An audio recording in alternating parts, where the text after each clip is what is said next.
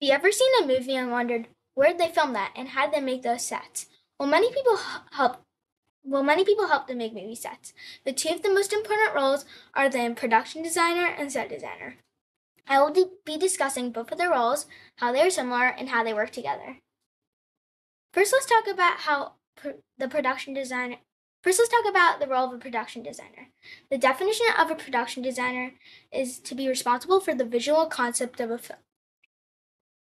A production designer has many responsibilities. Some responsibilities of a production designer include helping the cinematographer select camera equipment, scanning for locations, and determining how much money to give to computer generated images.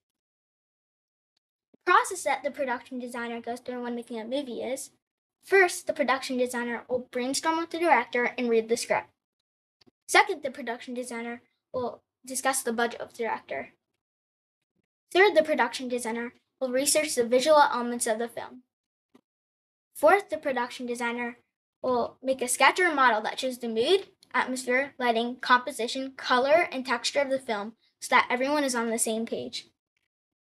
Fifth, the production designer hires and manages the entire art department, often the largest department on the film crew. Next, let's talk about the role of a set designer. The definition of a set designer is someone who creates and designs sets. A set designer has many responsibilities. Some responsibilities of a set designer include making a list of tools, materials, and props needed to create the set, and researching the time period and fantasy world to ensure the scenery is accurate. The process that the set designer goes through when making a movie is first, the set designer will develop an idea for the set and discuss with a number of people on the creative team. Second, the set designer may choose to build a scale model to use as a template for when they build the real thing. Third, the set designer supervises a group of builders and designers to create the final set. Next, let's talk about how production designers and set designers are similar. When production designers and set designers do their processes, they actually do very similar things. For example, they both meet with the director, they both think of ideas and they both use their creativity to draw audiences in. There are also similarities in formal education you can get.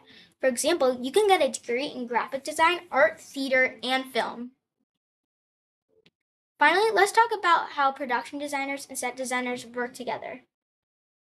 The first time they work together is in a stage called set construction. Set construction is assigned to a construction manager to build a full scale scenery.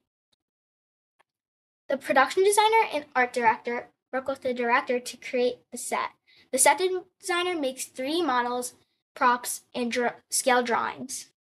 Scale drawings include ground plans and elevations. Scale drawings are made with computer drafting programs. They also work together when they do their part. For example, the production designer focuses on other things besides set, and the set designer focuses on more things on the set, such as props, scenery, and drawings. In conclusion, I hope this has been informative about production designers and set designers, and perhaps the next time you're watching a movie, you will appreciate all the people and steps involved to creating the film's scenic elements.